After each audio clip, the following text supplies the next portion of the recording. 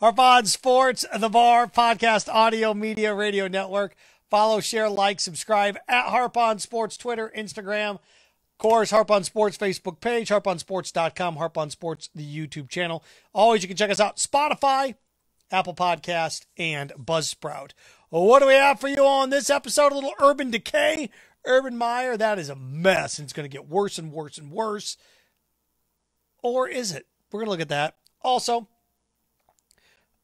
you know, Tom Brady's return to New England. I was trying to find a comp.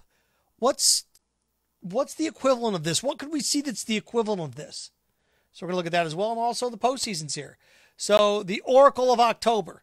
I'm gonna look at what I see taking place. Also, quick little snippet. We're movies are back out. Like we've been waiting years, 18 months for like movie movies, like real movies. And oops, be careful there, Seth. Many Saints in Newark. Oh baby. The potential here is obscene. So we're gonna look at that as well. All right. Um, Urban Meyer, this is a mess. You know, now you have calls for firing him. I, look, this is so ugly and so nasty, but you have to take a step back and realize what's the most important part of the Jaguars. Who's the most important person in the Jaguars on the on the in the whole organization? It's Trevor Lawrence. Trevor Lawrence. Who's the best person to guide and lead Trevor Lawrence during this? How is Trevor Lawrence going to ever I think if you're Urban Meyer and you sit down Trevor Lawrence? Now I want you to listen to me here, son. Uh, yeah, right. You teach me how to play grab ass? What are you going to teach me? So again, I like Urban Meyer as a coach. Is he a trustworthy human being? Obviously, no. And how does this end well?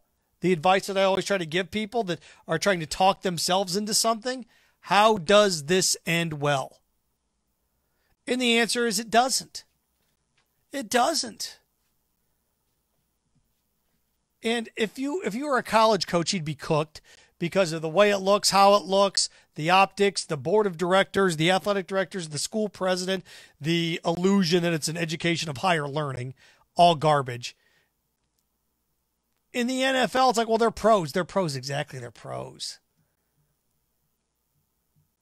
And you know, if he were 3 and 0, it'd be one thing.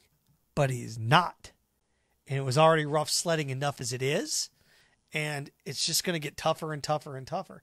And you look at organizations that are habitually bad, they have one thing in common. Think about the organizations that are habitually bad, as in bad all the time. The Browns were this way until a year ago. Habitually bad. The Lions are habitually bad. The Jaguars are habitually bad. Who in the NBA? The Timberwolves, habitually bad. The Jets, habitually bad. And they usually all have the same thing in common. Look, Shad Khan's owned the Jaguars for a decade now almost. They've had one playoff run. It was a great, great run. He hired Dave Caldwell. That didn't work out. Dave Caldwell hired Gus Bradley. That didn't work out. They replaced him with Doug Marrone. That didn't work out. Blow those guys out. Hire Trent Baalke. Hire Urban Meyer. This is not working. The Lions are the worst franchise in the NFL the last 60 years. Something in common. Same people have owned it, the Ford family. Shad Khan's the prime example of you throw money at it, it'll fix it. And it doesn't work. You hire smart football people and you get out of the way. I remember a couple years ago, I suggested, even though he's 60 now, still think it would have worked, that they should have sat down with Ozzie Newsome and paid him $15 million a year. Ozzie Newsome built the Baltimore Ravens, retired a couple years ago. I'd have sat down Ozzie Newsome and said, "How much were you making there your last year in Baltimore? Like four million. We'll pay you fifteen. It's amazing how people don't value the person making all the draft picks as important as the people that they're picking. NBA teams, you know, Phil Jackson's making fifteen million dollars a year as a coach of the Lakers, and to me, the general manager that's putting all this together is equally as important, isn't he? And Trent Baalke, what happened with Trent Baalke and Jim Harbaugh, the Jaguars are a gigantic mess. and they've got a generational talent at quarterback, and they're going to screw it up. Ah, everybody's overreacting. Are they? Are they now? Ask yourself this Can you afford to wait and see? If you're the Jaguars, can you afford to wait and see? Well, winning will fix this. Yeah. You see that happening? It's going to get worse and worse and worse. And now it becomes one of these things where it's the I told you so, you can't tell me what to do. This is going to work. We're going to figure this out. He apologized. And then you had the other camera when he was grabbing ass in the other angle. It's it, it's just bad. It's bad.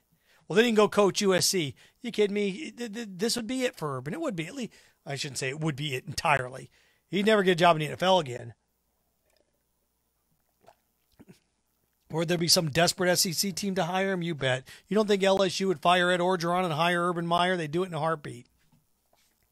Would Urban want it? Don't know. Don't know if he'd want it or not. Ohio State was the I mean, that was the that was cruise control. You have to beat Michigan, Penn State every now and then. Beat Penn State every other year. Own Michigan. But that was even to run from a scandal, wasn't it? So it's a mess and it's an ugly situation and it's not going to fix itself. And you can play the us against the world card. Go for it. I've learned certain things as I've gotten older is that if you think something's going to fix itself, it's not. There are certain things that are emotionally high and emotionally low. If you just take it easy, things become more crystal clear. But I do know this, just like the Don Imus situation, just when things start to snowball, like with Paterno, when things start to snowball, boy, an avalanche never stops itself. Avalanche comes down the mountain, right? Never goes, yeah, we're good. It just keeps building and building and building. And that's what's going to happen with this. You know, they come out. How long is Urban Meyer the story for? Because coaches preach, don't be a distraction, don't be a distraction, don't be a distraction. And as a coach, you can chalk it up. Oh, they're just kids. Oh, it's just a player. He's just a distraction. All right. Well, look, they've got this. Okay, we were able to fix this week because you have. Think about this. As an NFL roster, you have 53 guys. One guy screws up, you got 52 other that you can pivot to. Quarterback's a little bit more difficult, but you can pivot to somebody else. Collegiately, the rosters are even bigger. Somebody makes a mistake, you go bench him, get another four or five star guy waiting in the wings. As a head coach in the NFL, you got nowhere to go. It's you. It's your culture, your team. What's amazing about this is they just built that indoor, or just agreed to build that indoor practice facility and all that stuff because Urban is trying to emulate the college game in the NFL. That's why they've got that indoor practice facility they're going to build because it's just like what you see at Ohio State, what they're building at Florida, what they build all across the country. That's a mess. And let's say they come out and they win this weekend. Okay. Now what? And, you know, before you can sit there and say, well, it's nobody's business, it's nobody's business if I am the Jacksonville Jaguars and I'm Shad Khan and I have a $2 billion piece of property and the guy that's in charge of making sure that property is successful, what do you mean it's nobody's business? The taxpayer, this is what I, this is what pisses me off about this. The taxpayers in Duval County and in Jacksonville, right? They are on the lam for what is a hundred million dollars for this practice place that they're building. The, the, so they're on the lam for that. That's what Urban wanted. They're kicking in money because they're buying into the Urban Meyer, Trevor Lawrence goal, marriage, and you expect yeah, I'm, I'm, I'm paying tax dollars into the stadium, and the guy that's supposed to be the patriarch of this thing is out squeezing college bunny tail. It's nobody's business. Actually, kind of is. It is. Just like if somebody's just like, who was this? Was it? I want to make sure I get this right. It was Britney Spears, right? Spokesperson for Pepsi and somebody took a picture of her drinking a Coke. It's like, oh my gosh, let her do what she wants. Not if I'm Pepsi and I'm paying you six million a year. I want you chugging Coke. Urban Decay. What do you do if you're Jacksonville? I'm the Jags. I guess I wait here a little while to try to figure this out, but you kind of got to look around and say, what do we do? And the answer to that, if they do decide to move on from Urban, and there's an interim coaching situation, whatever, the guy that should be the next head coach of the NFL is going to be good. He's going to be like Sean McVay is out with the Rams, and it's Joe Brady, and he is in Carolina working with Sam Darnold. I know they got beat, but they're three and one. He's kind of got Sam Darnold on the right track. He built Joe Burrow at LSU. Look what LSU is without Brady as the offensive coordinator. That's a disaster. He may be more important to Orgeron than Malzahn was to Chizik. So there you go on that front. Uh, Tom Brady's return. I, did it live up to the hype? The game was sloppy, but that didn't matter. The fact that it was a close game, it came down to the final few minutes. Yeah, it, not every game is Texas USC from 2005. Not every game is, you know, the Chiefs 49ers come from behind Super Bowl. Not every game is that. And I thought as I was watching that, what's the comp for this? What's the what's the parallel to what we just saw with Tom Brady? After 20 years, he comes back. Okay, there we go. Because he's actually physically playing.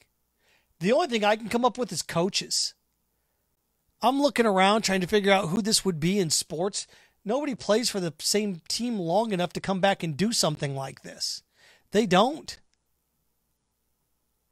I'm, you know, I'm looking around the league and trying to find guys that are late in their career that have played at some place where they'd come back and get this type of welcome. I mean, it's the it's the second highest rated Sunday night game ever. Second highest rated Sunday night game ever ever. Think about that. In this day and age where everything's fractured and splintered, in football, the, the, Super Bowl continues to set records. But think about sports and ratings and records in a year where NBA playoffs are down or they're stagnant, uh, hockey down or stagnant, really down, baseball down or stagnant, football comparable to where we were. The second highest rated Sunday night game ever, ever. We've had Sunday night football for what, 35 years now? NBC for 15 or whatever, but even before that, it was on ESPN and TNT. Remember that? Back when you only had 30 channels, sometimes 15 channels at the beginning of this. So, I, the fact that you got those numbers, I, I was just racking my brain. I, I can't think of anything. I, I, thought of a couple things that could happen. First of all, Belichick's not leaving New England. If you leave New England and come back and coach against them, you could get back into that path. But again, you'd be duplicating what you're doing. I can I can't think of anything like in the NBA. I can't. Maybe down the road if Steph Curry left Golden State and came back, but it wouldn't be this. The only thing I can think of, the only thing I can think of, you can't baseball wouldn't exist. I mean, we already saw Pujols, and I mean, nobody's going to stay around long enough with the same team. The only thing I can think of, and I've been racking my brain you know, like if Dabo Swinney would end up coaching Alabama and come back and coach against Clemson, but then again, he's only been there 13 years. I the only thing I can think is if Krzyzewski retires from Duke this year and decides in a year that he wants to get back into college basketball coaching, and if Krzyzewski would go back to Duke. That's the only thing I can even think that's comparable to what we saw with Brady. It was a storyline, and you were watching a movie that you hadn't seen before. And that's rare. That's rare. You're watching original idea. The guy that's the best at the original ideas to me in the last 10 years in movies is Christopher Nolan. I thought Interstellar was fantastic. Dunkirk was amazing. Right? And of course, the Batman trilogies, what he did to Batman with Christian Bale 15 or so years ago. Wow. But, you know, original idea movies. It's like, whoa, what's this? This is different. Game of Thrones was an original. The Sopranos was an original. It's a different look at a mob movie, but it was an original. I'm going to get The Sopranos coming up here. The Many Saints of Newark. But I I watched that thing in, in awe. Thinking, wow. What what what is the sequel to this? Is there one? Tom Brady is now beating every team in the NFL at their place. You mind if we dance with your dates? Only has he beaten every team at their place, he has a winning record against every team in the NFL. Because the only team he didn't have a winning record against was the Patriots. He never played them. Oh and. Now Tom Brady has a winning record against every team in the NFL. I would love to know if you could go through and find that where you had an athlete that had a winning record against every team he ever played against. Especially in this day and age where you play each other all the time. And now there's people that have played against everybody, but to have a winning record against everybody, it's remarkable. I just can't. The only comp that I can think of is Krzyzewski would le- retire from Duke this year and then come back and coach in a couple years and coach against him. It's the only thing I can even think that's even close. Uh, Major League Baseball. The, the eye was it Gus on uh, the Natural. The October Oracle. Talk about two fantastic wild card games, at least on paper. Adam Wainwright and the Cardinals have won like what 21 of the last 23 games. He's on the bump and he's taking on Scherzer and the Dodgers in LA. Wow. Oh, and by the way, the appetizer to that is the Red Sox and Yankees at Fenway Park.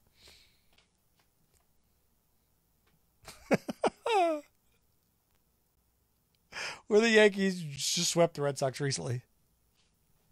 That's awesome. It's great. I mean, fa- the fact that we're going to get the Cardinals and the Dodgers, right? The two teams in the National League with the most World Series. And then you're going to get the Yankees and the Red Sox. The Yankees, most World Series ever, and the Yankees, the or the Red Sox, the most World Series this century, the last 20 years. Those are your play-in games. And who's waiting in the wings? I mean, the Rays who are just loaded. The Astros who are, you know, good gracious for all the cheating and everything, still managed to win 90 plus games every year. You had the Brewers, who we kind of forget about in the National League, right? The Brewers are just over there. And the White Sox, who everybody completely forgets about. I mean, this Major League Baseball postseason is loaded. Excuse me. Loaded with storylines. Just loaded. Gesundheit, Seth. And I look over in the National League and I was trying to rack my brain on what World Series you want. You always want the Cardinals or the Dodgers against the Yankees or the Red Sox. Well, two of those teams are going to go the way of the dodo within 48 hours. So, whoever wins the wild cards are your World Series that you want. The one you don't want, the one you can't have, is the Braves and the Rays. If the Braves play the Rays in the World Series, more people will make landline payphone calls in America that day than will watch that game.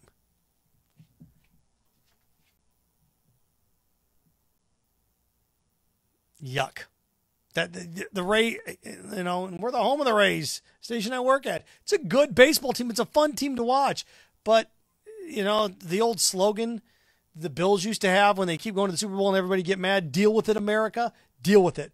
That's kind of where everybody are, where everybody sits with the Rays. Right now, if I had to pick a World Series, right now, right now, on the spot, World Series, who's going to be Seth? I'd pick the Giants and the Rays. Because I know they're at home. I know they're the one seeds. They got 100 wins, and they're going to take on wild card teams that you know, let's face it, especially if the Red Sox beat the Yankees, the Rays will dust them, and then you have the Astros playing the White Sox. The, the I think if, if, if, there's anything, if I had to pick any team in baseball, it's the surest thing. There is no sure thing, but it'd be the Rays going to the World Series. It would be.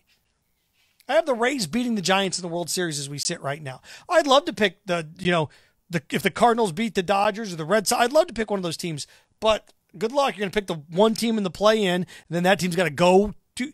I, I can see the Dodgers if they beat the if the Dodgers beat the Cardinals, then you can come back with Scherzer in three or maybe Scherzer in two on short rest. If you you could play that a little bit, but with Kershaw being hurt and Urías, I mean the Dodgers have the arsenal to do that. The Red Sox are the Yankees. Eh, look, the the Red Sox would be actually better set up to take on the Rays just because Chris Sale would be pitching in Game Two and maybe in a Game Five where the Yankees, you know, you're going to blow through your ace, right?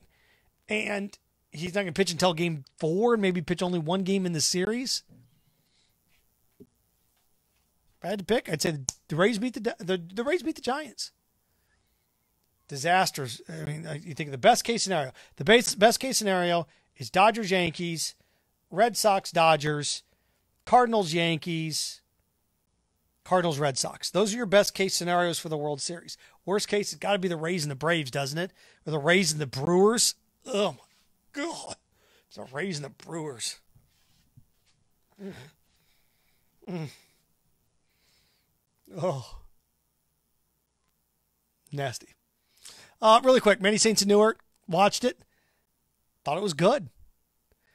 Um, I love the junior soprano angle. I, I, just thought it was I thought it was well written, well done. The backstory on the characters, it wasn't about the Sopranos, it was about the Moltisantis. I liked it.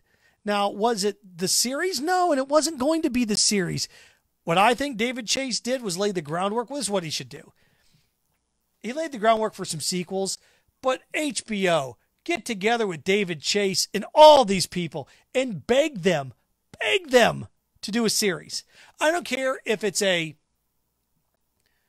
one shot deal where it's a 10 part, one year miniseries, 10 year, t- 10 episodes, two hours each, the next two weeks. Let's go.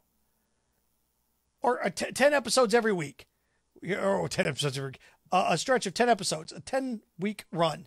Every Sunday night, two hours. Boom, boom, boom, 10 straight weeks. Give me that. Now, talk about doing other movies. What you found out, it's tough to go from series to movies and put everything in there, especially when you have, because you need to develop these storylines and develop these characters. It's like when they keep talking about, well, maybe they'll make a Game of Thrones movie. Oh, God, please no. There's too much going on. You can't squeeze into two hours. I think my only thing would be the Many Saints of Newark. What I would love to see is a week long run where it was one hour every night for five straight nights. Imagine what that would do. Hey, we're gonna we're gonna do this where it's gonna be an hour every night for the next five nights, like those old TV miniseries, miniseries like North and South and Roots and things like that in the '60s, '70s, and '80s, or '70s and '80s were massive. One, you had network TV, and two, it was just a must tune, must watch event. Give me that. I enjoyed it though. Love seeing Paulie Walnuts and Big Pussy and Silvio, and I liked it when I'm not giving away any big plot lines when Tony hijacked the ice cream truck. it's funny stuff, man. Just enough humor with murder and mayhem. David Chase is brilliant. Give us give us a series, HBO. Many Saints of Newark. Give us a series. Be massive. These characters are strong enough. He, the actors are strong enough to do it. Give the people what they want. Harp Sports, the bar, podcast, audio, media, radio network. Follow, share, like, subscribe at Harp on Sports on all the platforms. Facebook, YouTube channel, uh, Buzzsprout, Spotify, Apple Podcast. I keep teasing you guys every week. The website's almost done. She is almost done. She is almost done, and can't wait for you to check it out at harponsports.com. Harponsports.com exists now, but I designed it, and you can tell that website design is not my forte. All the stuff's there, just it's not pretty. it's like if you asked me to build a deck in the backyard, or I don't know, put together something or rebuild a car engine. Not going to work. Or it's going to work, but it's not going to sound right. It looks okay, but, mm. but we're getting that website done. I have it professionally done too. Um, looks good. He's doing a heck of a job with it. So I just want to make sure it's great before we roll it out. There you go. Remember, stay clean, stay focused, stay strong. Frankenstein. Have fun with your friends.